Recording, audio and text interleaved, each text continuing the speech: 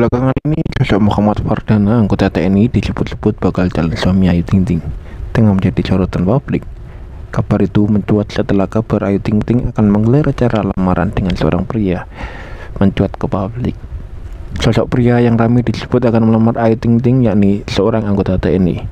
Padahal Ayu Ting Ting sendiri belakangan sering dikosumkan dekat dengan Boy William. Isunya lamaran tersebut berlangsung pada hari Minggu 4 Februari 2024. Berita itu makin heboh usai Ibu Ayu Ting Ting, Umi Kalsum mengunggah foto bersama sang suami. Abdul Rojak menggunakan seragam berwarna coklat, layaknya mereka tuan rumah sebuah acara. Dalam unggahan yang beredar di media sosial memperlihatkan potret undangan PDF yang tertuliskan nama Ayu Ting Ting. Saat itu nama Ayu Ting Ting bersanding dengan nama pria yang ditutup striker. Undangan atas nama Ayu Ting Ting tersebut sontak membuat banyak pihak menduga bahwa janda dengan satu anak itu melaksanakan acara lamaran dengan pria yang disebut seorang letkol.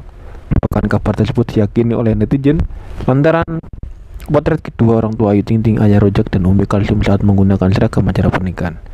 Berdasarkan tim, terkuak sosok TNI yang diisukan melamar Ayu Ting Ting. Abdi negara tersebut diduga bernama Letu Infanteri Muhammad Fardana berpangkat letkol Sang TNI mempunyai paras yang tampan hingga bikin warga terpana. Bahkan kabar tersebut diyakini oleh netizen lantaran potret kedua orang tua Ayu Ting Ting, Ayah Rojak dan Umi Kalsum saat menggunakan seragam acara pernikahan. Rupanya sebelum isu lamaran ini viral diduga keluarga Ayu Ting Ting dan keluarga dari pihak pria pernah bertemu di Banyuwangi pada awal tahun ini. Hal ini diketahui dari unggahan akun Famianti kemarin.